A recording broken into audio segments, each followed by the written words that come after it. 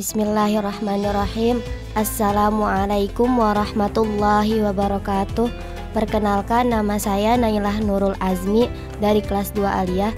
Di sini saya akan membacakan dan menjelaskan kitab Fatul Qorib Karangan Syekh Abu Abdillah Asyamsuddin mengenai syarah tentang fasal rukun-rukun sholat. Bismillahirrahmanirrahim. Faslun bermula ini fasal fi arkanis sholat di dalam rukun-rukun sholat.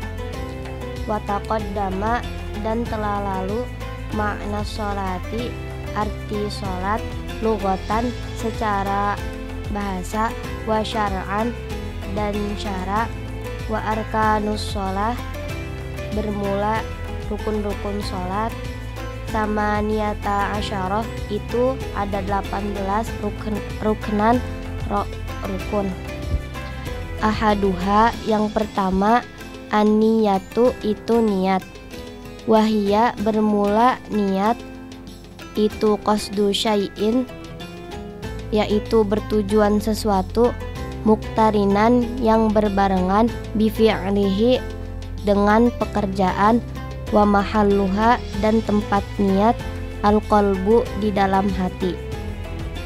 Wasani bermula yang kedua itu al-qiyamu berdiri ma'al qadrati ma'al qadrati beserta mampu alaihi atas berdiri fa in ajaza maka jika lemah anil qiyami dari berdiri ko ada maka duduk.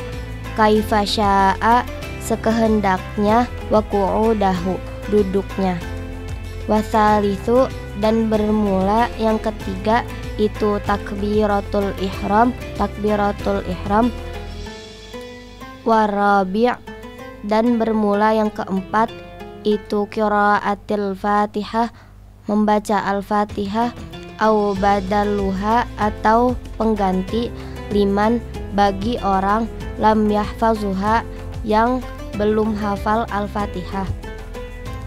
Wal khamisu bermula yang kelima ar-ruku'u itu ruku wa aqallu fardihi minimal fardunya ruku liqaimin bagi orang yang berdiri qadirin yang mampu ala ruku'i atas ruku mu'tadili yang sedang bentuk fisiknya salimun itu selamat yadaihi dua tangannya waruk batihi dan kedua ruk dan kedua ototnya. Wasadisu bermula yang keenam itu atumak ninatu tumak ninah. Wahia bermula itu tumak ninah.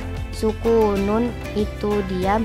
Ba'da harokatin setelah bergerak fihi di dalam ruku. Wasabi'u bermula yang ketujuh itu arraf'u bangun minar ruku'i dari ruku wal i'tidal dan i'tidal.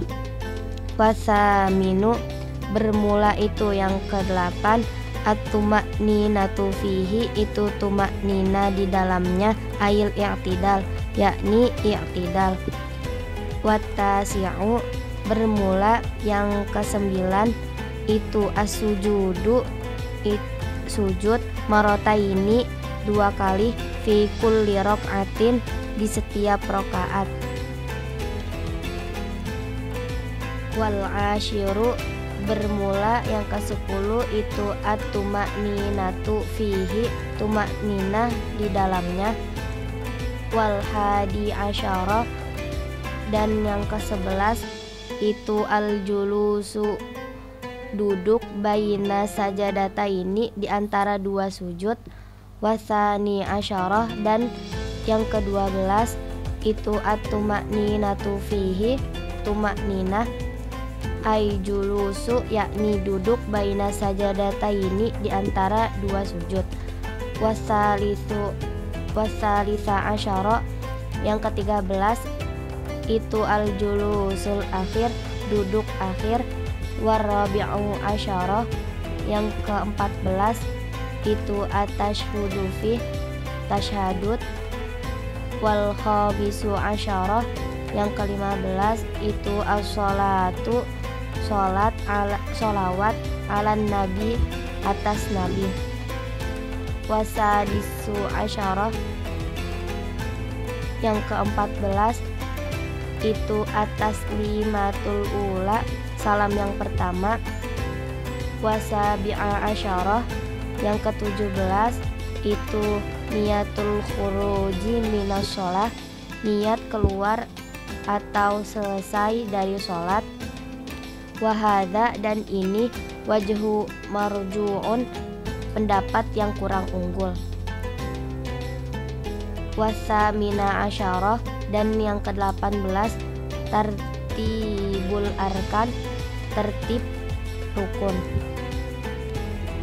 Jadi di dalam kitab Fathul Qarib itu dijelaskan bahwa e, sudah dijelaskan sebelumnya mengenai tentang pengertian sholat.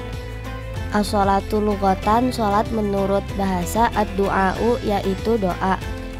Wa syar'an dan menurut syarat yaitu akwalun wa af'alun perkataan dan perbuatan muftatahatun bitakbiri yang dimulai dengan takbir wa, wa muhtatamatu bitaslimi dan diakhiri dengan salam bisyaraiti maksusotin dengan syarat-syarat tertentu. Jadi di sini dijelaskan bahwa rukun-rukun sholat itu ada 18. Yang pertama itu adalah aniyatu yaitu niat. Wahia qasdu syai'in yaitu bertujuan sesuatu, sesuatu muktarinan bifi'lihi yang berbarengan dengan pekerjaan wa mahaluha dan tempatnya itu di dalam hati.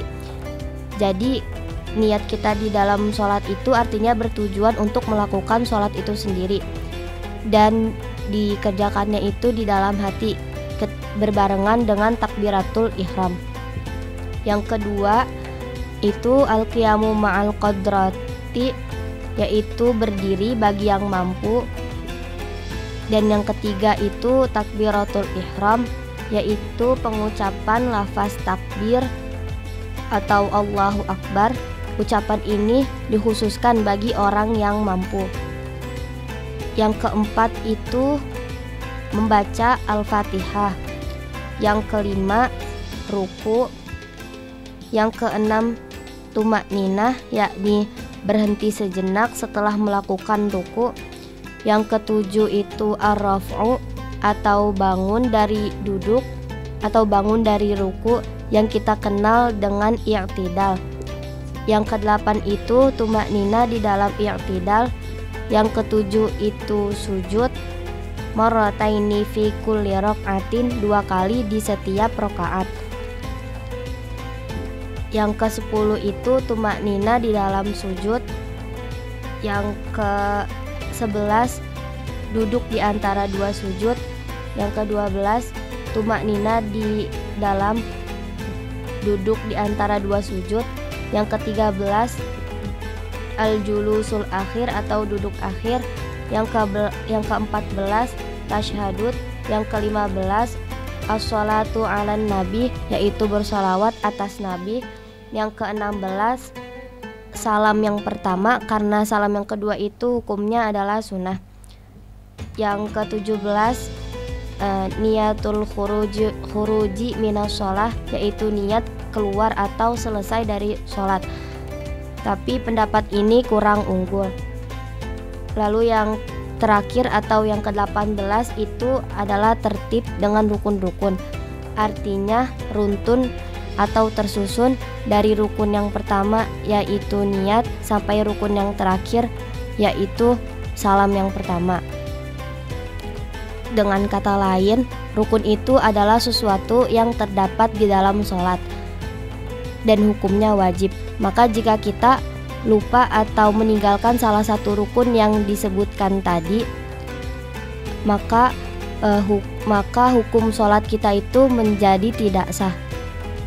Mungkin cukup sekian yang bisa saya sampaikan. Kurang lebihnya mohon maaf. Wassalamualaikum warahmatullahi wabarakatuh.